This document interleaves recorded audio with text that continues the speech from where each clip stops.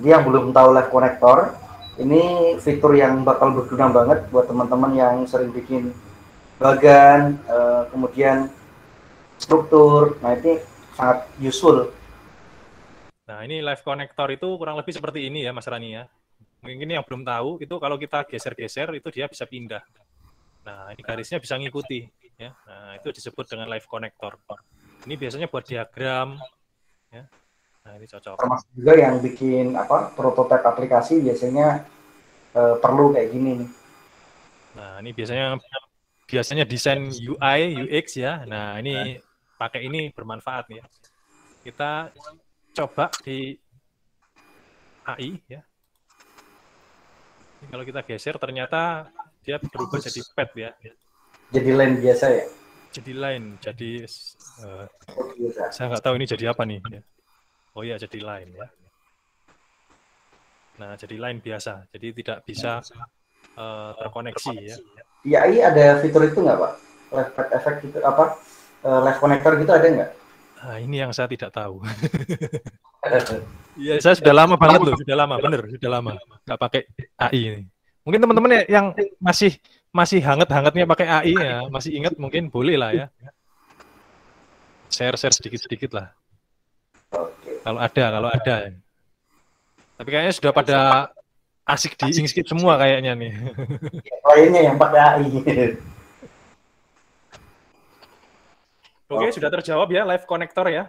Tidak aman berarti ya. Tidak aman ya, live connector tidak aman. Kita lanjut ke pengujian metadata. Pengujian metadata ya. Nah, metadata ini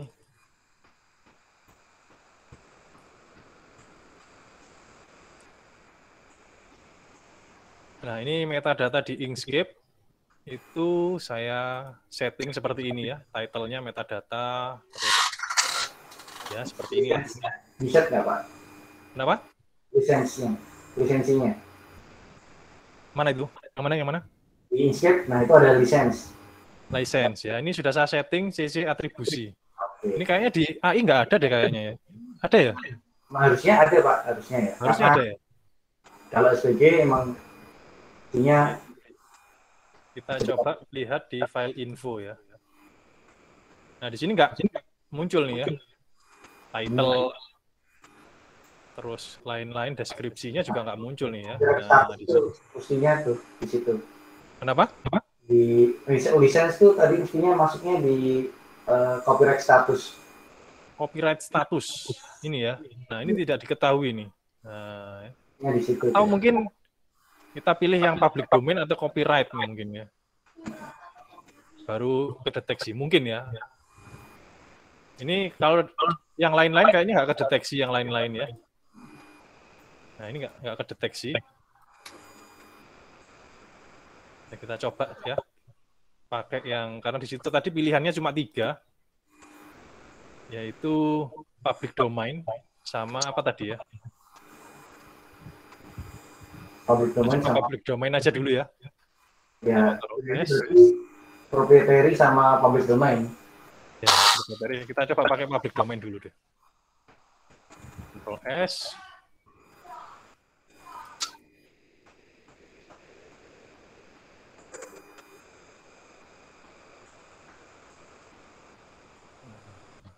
file dokumen file info. Tetap Saya juga masih masih nggak kedeteksi ya. Jadi kalau dari Inkscape metadata nggak nggak nggak berfungsi nih kayaknya nih. Raw data itu isinya apa pak? Raw data ini ya. Nah, ini. Kayaknya XML juga nih. Ini dari situ sih dia muncul isinya. Ya. Origin, origin. Origin.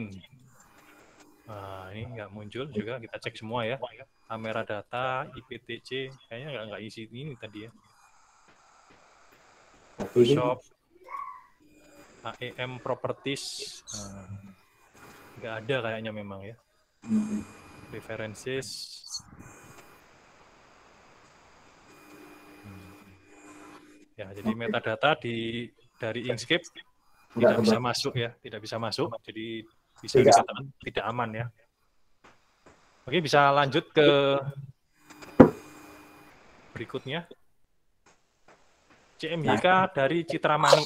Nah, ini kebetulan uh, sudah saya ekspor ke sini ya. Hmm. Ini IPS sama PDF ya. SVG bisa ya? Enggak. Enggak bisa ya? Enggak. Kita coba dulu buka ya. Kalau dari sini kayaknya nggak bisa nih ya.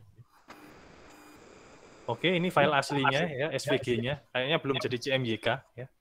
Enggak, enggak CMYK juga sih, Pak. SVG kan nggak bisa nggak support juga. Nggak support iya sih, iya sih. ah ini dia ya. Jadi PDF nah itu nah, ini teksnya sayangnya nggak nggak kebaca nih teksnya ya. Teksnya berarti harus di convert curve nih harusnya nih ya Jadi di sini CMYK nih warnanya ya teman-teman bisa bandingkan ya wah ini kecil banget satunya di tabnya itu kan ada keterangan CMYK slash review. Yang satu oh, kan di mana? Di tab itu. Tab yang dekat kursor itu pasti kursor. Oh ya ini, ah ini ya. Jadi nah, di sini uh, color modenya sudah CMYK nih color modenya. Color iya betul ya color mode ya ini ya maksudnya ya. Kita coba color setting bukan oh bukan ya color mode color mode mana color mode oh di file ya. Nah, ini color mode. Nah, di sini sudah masuk CMYK nih. Nah, jadi buat teman-teman yang mau ekspor ke CMYK itu pakai Citra Mani sebenarnya itu sudah uh, support CMYK. Jadi nggak perlu khawatir ya. Cuman ini teksnya kayaknya ya, teksnya yang harus harusnya bisa editable. Cuman harus di-convert to curve sepertinya. Ya, Mas Rania ya. Betul. Tapi dari sisi warna sudah oke okay nih sisi warna. Ini buat yang siap cetak sih saya rasa. Iya. File-file yang siap cetak. Kalau file-file yang masih editable, saya rasa jangan dulu ya. Jadi diedit dulu, nanti kalau sudah selesai baru diekspor seperti itu. Bagus nih ya. Jadi CMYK dari Citra Mani sudah bisa dibuka di kita coba yang IPS ya. Yang CMYK cuma IPS sama PDF aja ya Mas Rania ya? Kalau JPG? Oh JPG, kalau JPG pastilah ya JPG ya. Tapi kan nggak editable di anu di di AI-nya. Kita coba yang editable aja dulu. EPS. Oke, di sini juga uh, teksnya juga masih ada kendala kayaknya ya Mas Rani ya. Ini teks ini, saya isi teks ya. Nah, ini teksnya. Oh, jadi simbol semua nih kayaknya teksnya nih. Ini masih di, bisa diedit loh. Loh, ya kan? Coba ganti fontnya. Fontnya ya ganti ya. Coba diganti. Nah, ini. Kita ganti. Nah, mana ya? Sama aja ternyata. Sama aja, cuman kayaknya ganti simbol kayaknya. Oh, ini kayak encode apa eh, apa sih istilahnya? Shopnya nih yang paham nih eh, apa kayak encodingnya beda nih. Oh gitu ya? Biasanya ada yang apa UTF-8 gitu-gitu loh. Hmm. beda. Text encoding kalau nggak salah. Oh iya pernah dengar cuman saya nggak nggak familiar sih dengan dengan istilah-istilah itu. Hmm, bisa nih. Kayak kemungkinan berarti kalau bisa nemu itu eh, text encoding yang dipakai di sini mestinya ya bisa diperbaiki mestinya Iya nih. Encodingnya ya berarti ya ini ya. Kemungkinan sih. Hmm. Oke, sebelum kita coba ah, seleksi semua dulu ya. Sama ya. Jadi um, encoding ya, dari encoding. Oke, tapi dari sisi warna sudah CMYK. Jadi mungkin alternatifnya ya di convert to curve ya convert to curve aja. Jadi pad semua ya? Uh, jadiin pad semua ya.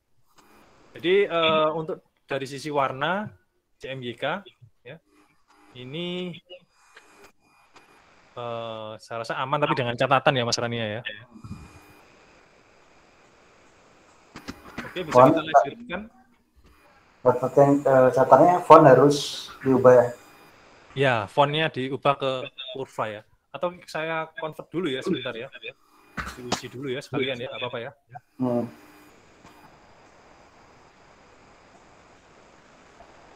ini saya.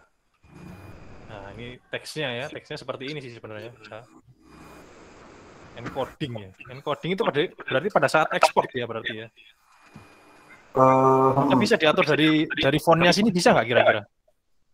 Wah belum belum Belum tahu ya. Oke, kita kontrol shift C dulu ya. Kita ubah jadi pad. Ini sudah jadi pad ya. Kontrol S dulu. Terus open with Citra maniknya mana nih? Tamani.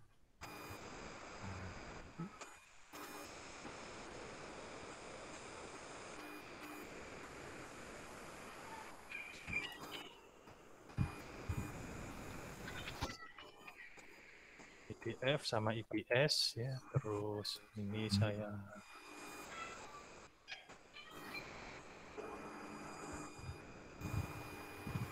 saya buka buat folder baru aja biar mana folder baru? New. New. Eh, udah lama nggak pakai nih. Bingung kawan. Kawan dalam nggak pakai Windows nih. Nyari new di atas surat KDE itu. Enggak sebenarnya eh, akhir-akhir ini sering sih akhir-akhir ini cuman sudah lupa kayaknya soalnya kayak di genom sama di KDE doang new folder itu di paling atas Iya, kebiasaannya di atas sih kebiasaannya memang. Ya, oke kita coba ya di sini uji coba Inkscape baru. Terus, color space-nya belum diubah oh color space-nya kita ganti CMYK dulu ya. Oke, kita pakai hmm, coba banyak-banyak deh.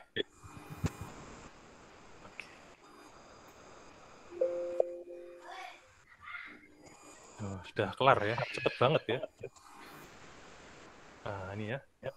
IPS CMYK kita buka pakai Adobe Illustrator. Nah, ya. Jadi memang harus di eh, convert dulu sih ke kurva supaya aman, supaya aman. Nanti mudah-mudahan nanti bisa dicarikan cara ya sama Mas Rania ya, encodingnya ya nanti ya. Mudah-mudahan sih. oke sob PR sob Oke, saya rasa itu tadi sudah ya, sudah aman ya. Eh, PDF-nya saya rasa juga harusnya sih sudah aman juga sih. maksudnya ya 11 12 Ya, aman lah. juga lah mestinya 11 12. Nah, aman ya. Dari sisi warna aman, tinggal convert to curve aja. Oke, sekarang kita lanjut ke uji embed ICC. Nah, ini tadi saya cari ininya nggak ketemu nih. Kalau di KDE ada muncul, tapi nggak tahu ya. apa pak Tadi sudah saya install ini sih, saya install Scribus tadi sudah, cuman kok nggak muncul ya. oh embednya dari ini pak Gimana? PDF dari ini loh eh, apa sih namanya yang PDF CMYK itu loh Nah, iya, maksudku itu tadi. Ini kan harus kita save as ya dulu ya. File, save as. no no no enggak enggak enggak Enggak gitu ya? sih di aduh apa sih namanya yang dibuka coba buka eh, Ctrl Shift F fill and stroke Control Shift P. Shift di F sini. Ctrl Shift F Control Shift F. nah di warna coba klik warna nah di CMS kan itu diklik yang CMS Oh, Oke. dari sini, yang dari sini maksudnya. iya itu kan embed Oke, kita coba ya. Oh, ini belum ada isinya nih. nah itu mesti ditambah Belum belum punya nih saya kayaknya nih. Saya coba dulu ya, dokumen properties dulu ya. Eh, colors ya. Ah, ini ada sih. Akvas, tapi yang Akva ya, nggak apa-apa ya kita coba yang pakai yang ini ya. ya yang penting kan bisa ada dulu Nah, oke, kita pakai. Soalnya kalau dari yang pakai CMYK Scribus Mas Rania itu kan ada bisa embed juga tuh color profile-nya dari situ. Saya kira tadi dari situ, cuman saya cari-cari kok nggak muncul. Kita coba yang di CMS, eh, belum muncul ya. Hmm. tadi udah ditambah ya Oh, si, si, si, si, lupa tadi sudah masuk apa belum ya tadi ya? Mana tadi? Apa? Oh, ini. Udah mestinya. Harusnya sudah ya. Atau harus di restart dulu nih. Hmm. Eh, Coba di save lagi dulu. apa? Ya. Control S ya. Bentar kita coba lihat dulu di fill. CMYK, CMS belum muncul. Ya, kita, kita save dulu, Control S, saya close dulu.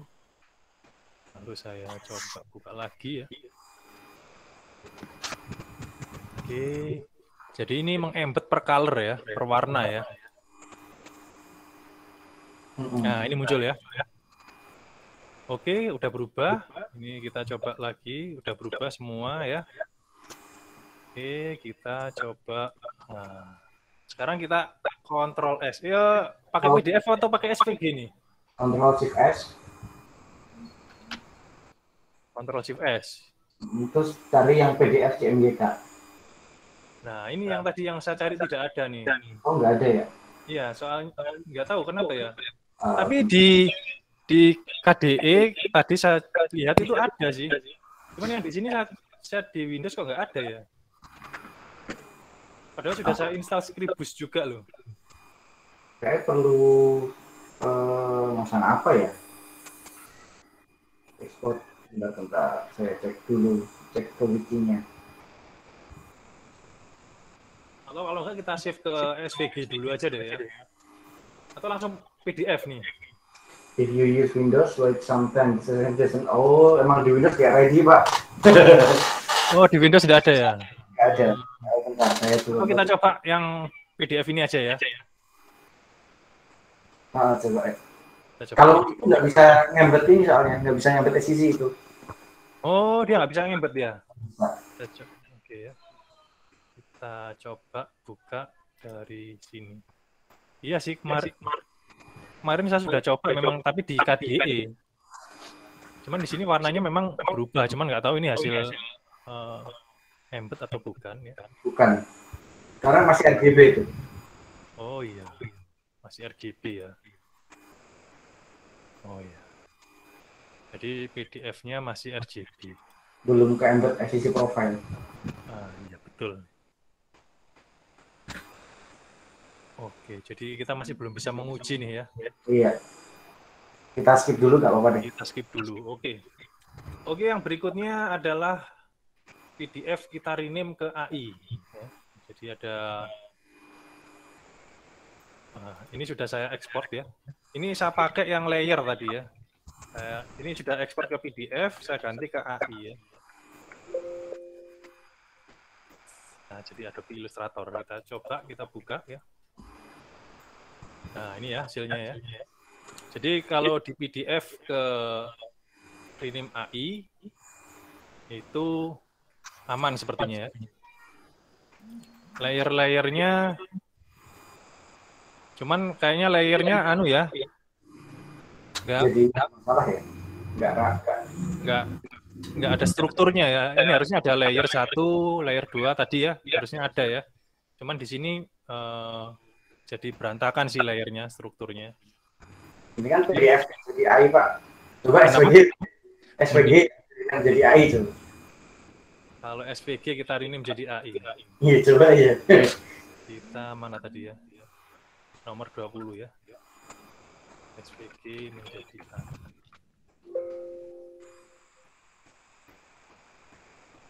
Oke. Wah, yang mana tadi? yang ada duanya nanti. ada duanya ya tadi ya. Kita coba buka ke Nah, ini malah ada tampilan seperti ini nih. Nah, coba. Text import option. Pak persepnya itu loh yang itu Kenapa? kan di Inkscape itu seingat saya UTF-8. GTF 8. Apa itu GTF? Ini ya. Unicode itu.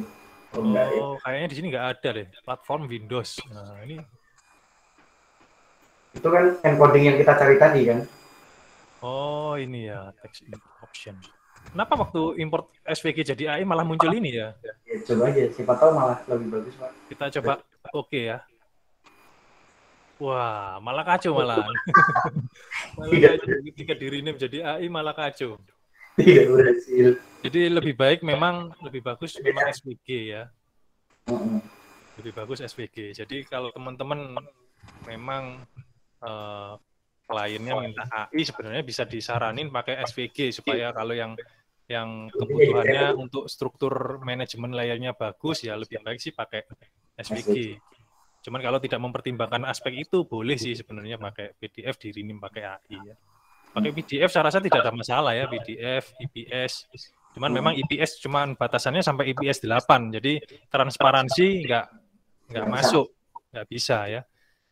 Kecuali kalau Inkscape sudah support IPS 10 mungkin sudah bisa transparan ya. Jadi mungkin uh, yang lebih relevan sebenarnya pakai SVG sih ya. Nah, ini yang nomor 21 blend mode ya. Jadi PDF rename AI ini sebenarnya terbuka sempurna ya Mas Rania ya. Cuman catatannya manajemen layernya nggak bagus ya, jadi berantakan ya. Jadi itu perlu dicatat. Berarti aman dengan teknik khusus saja ya? Iya, aman. Atau aman dengan catatan? Aman dengan catatan sih menurut saya, karena tidak ada teknik khususnya sebenarnya. Nah, berikutnya kita menggunakan blending mode nih ya. Nah, blending mode ini kalau di Inkscape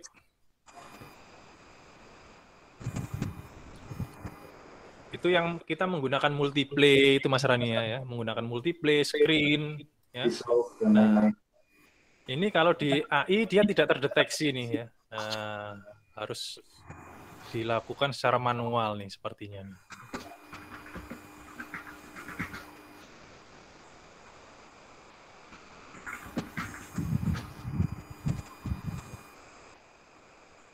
Transparansi. Nah, ini saya bingung yang mana nih ya transparansi masuk ke mana ya transparansi? Uh, blend mode ini. Cek baru cek. Ya tapi secara umum untuk penggunaan blend mode nggak aman sih. Ya jadi blend mode merah nggak aman. di belum ada solusinya sih. Saya, saya sendiri juga bingung gimana caranya. Kayaknya memang nggak bisa karena beda platform sepertinya ya platformnya memang beda jadi uh, untuk multiplay sama ininya nggak sama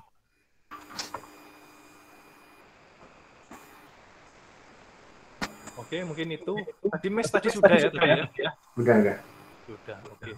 Mungkin ada lagi yang perlu dites barangkali, teman-teman. Ada yang kurang, ada yang belum mungkin. Jangan teman-teman, kali aja ada yang kelewat selain 22 poin yang udah kita coba tadi uh, bisa disampaikan?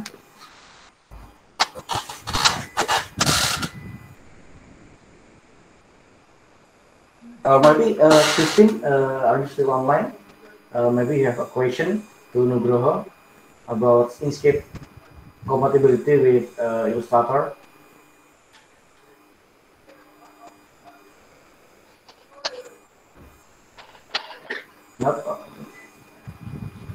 Hening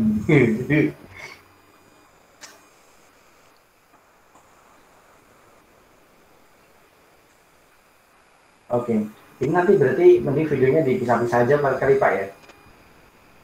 Uh, apa nggak dijadiin satu aja langsung? Ya maksudnya per misal uh, konsistensi bentuk, ukuran, posisi, ukuran halaman, oh, gitu. Uh, sama mungkin ukuran stroke gitu lah. Terus nanti apa gitu per kelompok aja lah.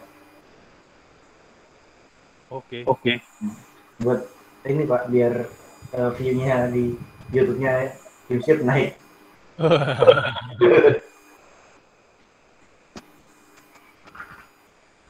Oke, jadi jadi tadi ya uh, kita sudah sudah apa namanya sudah melakukan eksperimen bareng-bareng, sudah menguji kompatibilitasnya SVG bareng-bareng, sudah bisa menyimpulkan mana fitur-fitur yang bisa digunakan dan mana yang tidak bisa digunakan. Jadi supaya teman-teman bisa lebih berhati-hati kalau menggunakan fitur-fitur tersebut ya. Supaya nanti kalau sudah terlanjur diserahin ke klien ada masalah karena bingung nanti ya. Mudah-mudahan dengan adanya eksperimen ini bisa membantu uh, pekerjaan teman-teman semua ya. Jadi emang lebih baik kalau kita pikir-pikir sebenarnya lebih baik nyerahin SVG Pak ya daripada PDF kita menjadi AI sebenarnya ya. Sebenarnya sih seperti itu ya. Kalau dilihat dari strukturnya itu lebih bagus ya, strukturnya kita lihat lebih rapi ya. Jadi sama sesuai dengan yang ada di di Inkscape. Teksnya juga bisa editable kan? Teksnya editable,